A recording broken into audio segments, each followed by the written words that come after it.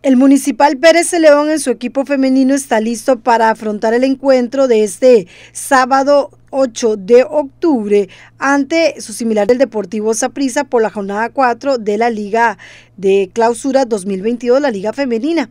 Este compromiso está pactado para que se lleve a cabo a partir de las 4 de la tarde en el reducto generaleño. Saprissa sabemos que, que, es un equipo muy difícil, eh, teóricamente uno de los grandes, entonces lo que pasamos a las jugadoras es que si queremos llegar y pensar en grande, eh, tenemos que ganar a los grandes. Entonces ese partido para mañana es decisivo.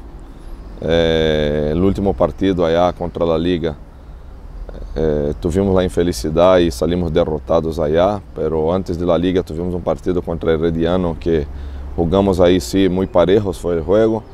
Entonces pienso que mañana aquí en nuestra casa tenemos que aprovechar eso, la localía y, hacer un buen partido, porque es decisivo para nosotros si queremos pensar en algo grande. Por lo que yo evalué, tenemos un equipo ahí de, de, media tabla, que falta justamente ese empujón de las jugadoras para que, para que ellas mismas digan ellas que, bueno, tengo condiciones, tengo condición de pelear, soy grande, puedo estar ahí peleando con, con los de arriba porque sabemos que é um torneio que se divide em quatro equipos, que é Herediano, Saprissa, Liga e Sport. Os que estão abaixo estão a nível de nós, que é Dimas, Pocosí, Pérez e, e Sube, esses estão no mesmo nível. Então, penso que se queremos algo grande e pensar em grande, como eu disse, temos que pelear com esses de arriba. Então, vale o esforço, vale o sacrifício, vale jugar su 110% porque no podemos jugar 100%, tenemos que hacer más que eso. Y el esfuerzo de todos.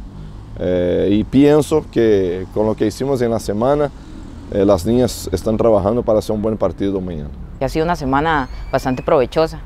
Todos tenemos claro que, queremos estar ahí arriba y, que la meta de, cada una de nosotras y, y, el cuerpo técnico es clasificar. Entonces, esta semana ha sido este, bastante vital para corregir errores que, hemos dejado en el camino y creo que, la verdad que, mientras que el grupo y el cuerpo técnico lo tenga claro que, queremos estar ahí arriba, eh, mañana va a ser un partido interesante contra un equipo que, también y lo necesita ganar, igual que nosotros. Creo que, nos ganamos el puesto de, de los primeros cuatro, ¿verdad?